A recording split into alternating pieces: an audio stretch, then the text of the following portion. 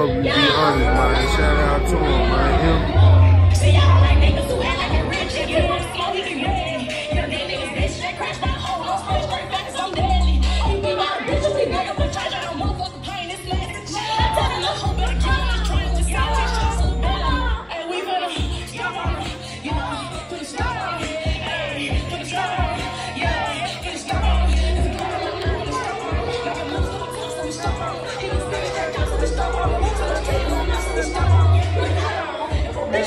I'm on bitch the sharp.